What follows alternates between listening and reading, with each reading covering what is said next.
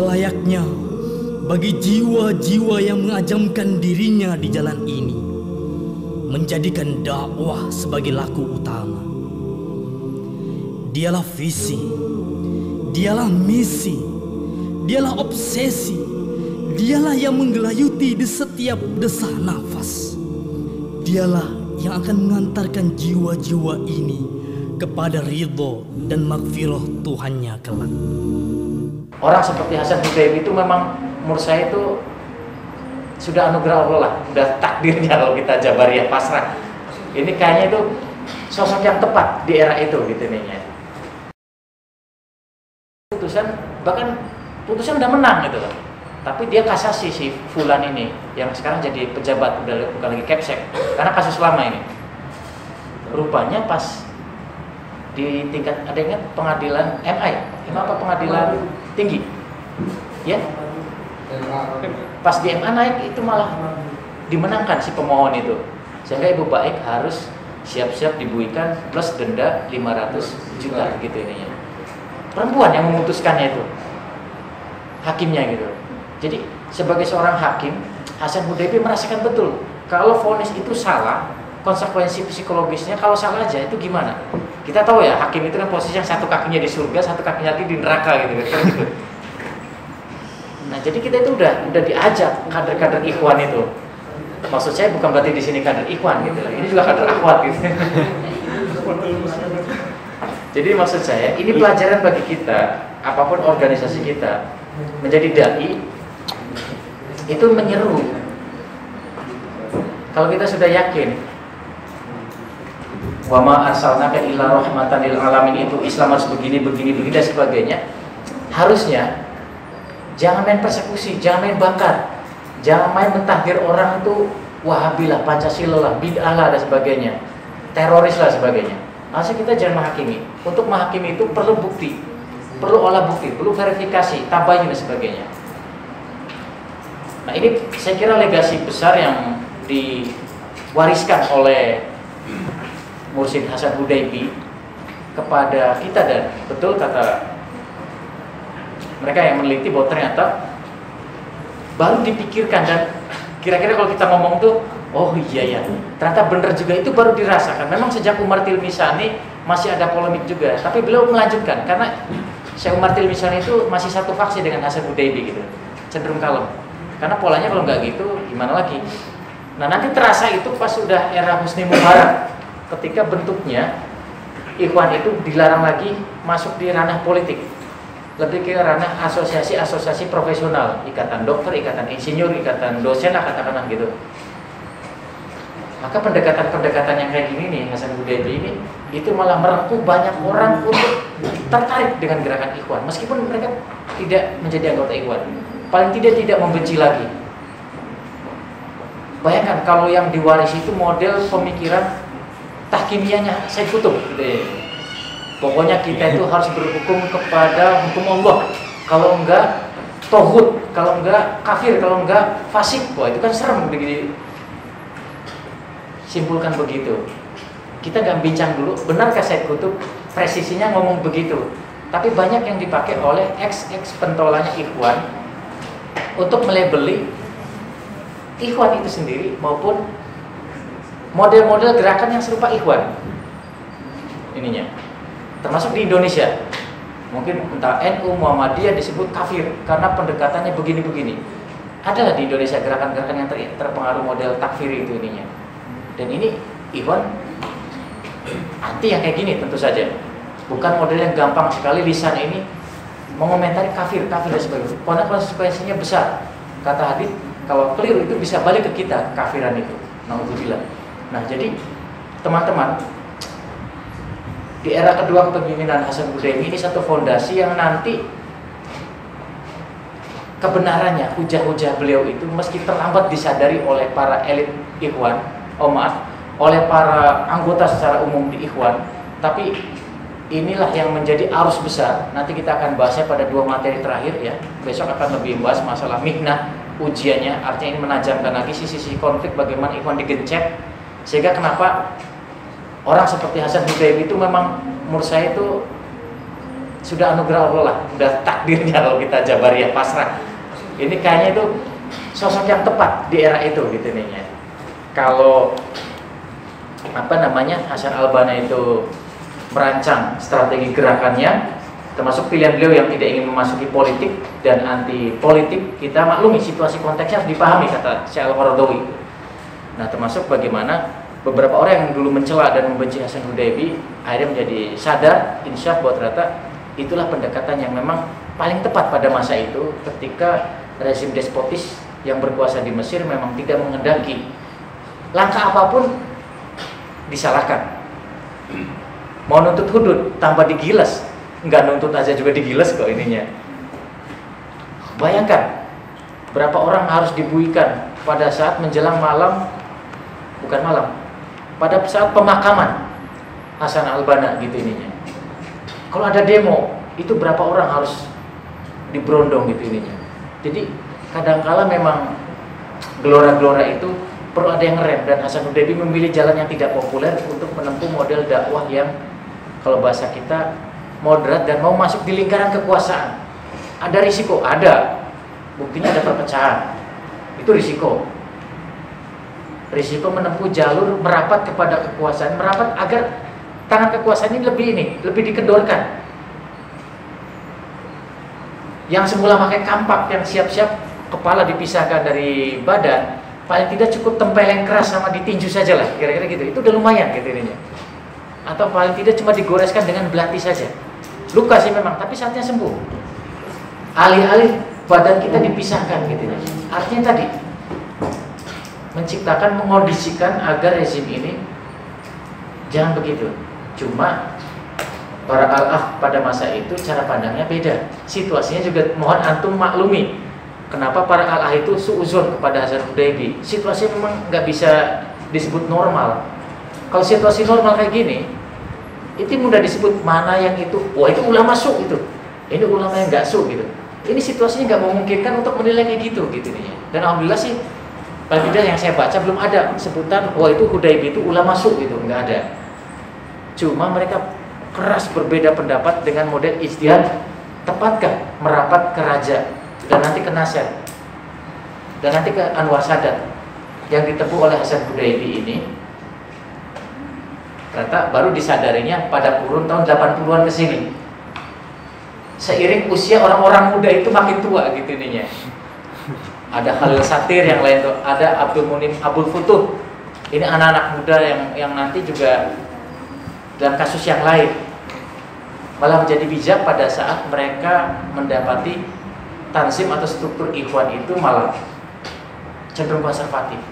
Justru mereka yang dulunya kencang malah menjadi bijak pada saat tidak lagi bersama dengan ikhwan, malah menjadi penyelamat ikhwan. Meskipun bukan lagi bagian dari ikhwan secara resmi. Sosok ini nanti akan kita sebut pada pertemuan selanjutnya. Putusan bahkan putusan udah menang gitu loh.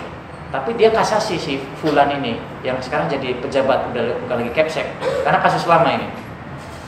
Rupanya pas di tingkat ada ingat pengadilan MI, apa pengadilan tinggi? Ya. Pas di MA naik itu malah dimenangkan si pemohon itu. Sehingga Ibu Baik harus siap-siap dibuikan plus denda 500 juta gitu ini ya. Perempuan yang memutuskannya itu. Hakimnya gitu. Jadi sebagai seorang hakim, Hasan Hudaybi merasakan betul kalau vonis itu salah, konsekuensi psikologisnya kalau salah aja itu gimana? Kita tahu ya, hakim itu kan posisi yang satu kakinya di surga, satu kakinya di neraka gitu gitu. Nah, jadi kita itu udah udah diajak kader-kader ikhwan itu maksud saya bukan berarti di sini kader ikhwan gitu. Ini juga kader akhwat gitu. Jadi maksud saya ini pelajaran bagi kita apa pun organisasi kita menjadi dai itu menyeru.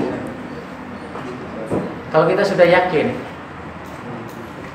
wama arsalnaka illa rahmatan lil alamin itu Islam harus begini begini begini dan sebagainya harusnya jangan main persekusi jangan main bakar Jangan main mentahdir orang itu Wahabi lah, Pancasila lah, bid'ah lah dan sebagainya. Teroris lah sebagainya. Harusnya kita jangan menghakimi. Untuk menghakimi itu perlu bukti. Perlu olah bukti, perlu verifikasi, tabayun dan sebagainya. Nah ini saya kira legasi besar yang di diwariskan oleh Mursid Hasan Hudaybi kepada kita dan betul kata mereka yang meneliti bahwa ternyata baru dipikirkan dan kira-kira kalau kita ngomong tuh oh iya ya ternyata benar juga itu baru dirasakan. Memang sejak Umar Tilmisani masih ada polemik juga tapi beliau melanjutkan karena Syekh Umar Tilmisani itu masih satu faksi dengan Hasan Hudaybi gitu cenderung kalem. Karena polanya kalau nggak gitu gimana lagi? Nah nanti terasa itu pas sudah era Husni Mubarak ketika bentuknya Ikhwan itu dilarang lagi masuk di ranah politik lebih ke ranah asosiasi-asosiasi profesional. Ikatan dokter, ikatan insinyur, ikatan dosen lah katakanlah gitu. Maka pendekatan-pendekatan yang kayak gini nih Hasan Hudaybi ini itu malah merengkuh banyak orang untuk tertarik dengan gerakan Ikhwan. Meskipun mereka tidak menjadi anggota Ikhwan. Paling tidak tidak membenci lagi. Bayangkan kalau yang diwarisi itu model pemikiran tahkimiahnya saya kutub gitu ya. Pokoknya kita itu harus berhukum kepada hukum Allah. Kalau enggak tohut, kalau enggak kafir, kalau enggak fasik. Wah itu kan serem begini. Simpulkan begitu. Kita nggak bincang dulu, benarkah saya kutub presisinya ngomong begitu? Tapi banyak yang dipakai oleh ex-ex pentolanya Ikhwan untuk melebeli Ikhwan itu sendiri maupun model-model gerakan yang serupa ikhwan ininya termasuk di Indonesia. Mungkin entah NU Muhammadiyah disebut kafir karena pendekatannya begini-begini. Adalah di Indonesia gerakan-gerakan yang ter terpengaruh model takfir itu ininya. Dan ini ikhwan anti yang kayak gini tentu saja. Bukan model yang gampang sekali lisan ini mengomentari kafir kafir dan sebagainya. Karena konsekuensinya besar. Kata hadis kalau keliru itu bisa balik ke kita kafiran itu. Nah, jadi teman-teman di era kedua kepemimpinan Hasan Hudaymi ini satu fondasi yang nanti kebenarannya hujah-hujah beliau itu meski terlambat disadari oleh para elit Ikhwan, oh maaf, oleh para anggota secara umum di Ikhwan, tapi inilah yang menjadi arus besar. Nanti kita akan bahasnya pada dua materi terakhir ya. Besok akan lebih membahas masalah mikna ujiannya, artinya ini menajamkan lagi sisi-sisi konflik bagaimana Ikhwan digencet sehingga kenapa orang seperti Hasan Hudayb itu memang menurut saya itu sudah anugerah Allah lah, sudah takdirnya kalau kita Jabariyah pasrah. Ini kayaknya itu sosok yang tepat di era itu gitu nih ya. Kalau apa namanya Hasan Albana itu merancang strategi gerakannya termasuk pilihan beliau yang tidak ingin memasuki politik dan anti politik kita maklumi situasi konteksnya harus dipahami kata Syekh Al-Qaradawi Nah, termasuk bagaimana beberapa orang yang dulu mencela dan membenci Hasan Hudaybi akhirnya menjadi sadar insya bahwa ternyata itulah pendekatan yang memang paling tepat pada masa itu ketika rezim despotis yang berkuasa di Mesir memang tidak mengendaki langkah apa pun disalahkan. Mau nuntut hudud tanpa digilas nggak nuntut aja juga digilas kok ininya. Bayangkan berapa orang harus dibuikan pada saat menjelang malam bukan malam pada saat pemakaman Hasan Albana gitu ininya. Kalau ada demo itu berapa orang harus diberondong gitu ininya. Jadi kadangkala memang gelora-gelora itu perlu ada yang rem dan Hasan Hudaybi memilih jalan yang tidak populer untuk menempuh model dakwah yang kalau bahasa kita moderat dan mau masuk di lingkaran kekuasaan. Ada risiko? Ada. Buktinya ada perpecahan. Itu risiko risiko menempuh jalur merapat kepada kekuasaan, merapat agar tangan kekuasaan ini lebih ini, lebih dikedorkan. Yang semula pakai kampak yang siap-siap kepala dipisahkan dari badan, paling tidak cukup tempeleng keras sama ditinju saja lah, kira-kira gitu. Itu udah lumayan gitu ini. Atau paling tidak cuma digoreskan dengan belati saja. Luka sih memang, tapi saatnya sembuh. Alih-alih badan kita dipisahkan gitu. Artinya tadi menciptakan mengondisikan agar rezim ini jangan begitu. Cuma para al-ah pada masa itu cara pandangnya beda. Situasinya juga mohon antum maklumi kenapa para al-ah itu suuzon kepada Hasan Hudaybi situasi memang nggak bisa disebut normal. Kalau situasi normal kayak gini itu mudah disebut mana yang itu wah itu ulama su itu ini ulama yang nggak su gitu. Ini situasinya nggak memungkinkan untuk menilai kayak gitu gitu nih dan alhamdulillah sih paling tidak yang saya baca belum ada sebutan wah itu Hudaybi itu ulama masuk gitu nggak ada. Cuma mereka keras berbeda pendapat dengan model ijtihad. Tepatkah merapat ke raja dan nanti ke Nasir? Dan nanti ke Anwar Sadat yang ditempuh oleh Hasan Hudaybi ini? Kata baru disadarinya pada kurun tahun 80-an ke sini. Seiring usia orang-orang muda itu makin tua gitu ininya ada Khalil Satir yang lain tuh, ada Abdul Munim Abdul Futuh. Ini anak-anak muda yang yang nanti juga dalam kasus yang lain malah menjadi bijak pada saat mereka mendapati tansim atau struktur ikhwan itu malah cenderung konservatif. Justru mereka yang dulunya kencang malah menjadi bijak pada saat tidak lagi bersama dengan ikhwan, malah menjadi penyelamat ikhwan. Meskipun bukan lagi bagian dari ikhwan secara resmi. Sosok ini nanti akan kita sebut pada pertemuan selanjutnya. Ini teman-teman dan saya dorong teman-teman seruan-seruan kepada kita anak muda termasuk bab yang menarik adalah kepatuhan dan ketaatan. Termasuk ingkar dan tohut itu materi yang barangkali untuk anak muda itu biar nggak langsung terkopong ada penyeimbang ada balance. Pada saat antum misalkan menghasanai karya-karya Said Syekh Kutub. Beliau juga orang yang luar biasa, tapi tentu saja agar posisi antum sebagai doa dalam berbagai ranah dan masa, maka agar nanti konteks situasi zamannya perlu adanya syarat pertama adalah stabilnya jiwa. Dan stabilnya jiwa itu jangan pernah fanatik pada satu pendapat gitu ya. Harus tetap open mind. Imam Syafi'i bisa jadi pendapat saya salah tapi bisa jadi pendapat saya yang salah itu. Ada unsur kebenarannya gitu ini Nah begitu juga kita harus mengasanai dari berbagai legasi tokoh-tokoh di Ikhwan ini khususnya yang agak diametralnya kencang itu antara Syed Kutub dan Hasan Hudaybi kenapa di karena mereka sejaman satu periode kepengurusan juga lah kira-kira begitu. Bahkan itu tadi ada rumor Syed Kutub itu berpisah gitu membentuk tandingan. Rencananya begitu ininya. Ini jadi satu pelajaran tapi kekokohan jiwa membuat insya Allah itu tidak terjadi Demikian kurang lebihnya mohon maaf. Assalamualaikum warahmatullahi wabarakatuh. Wabarakatuh.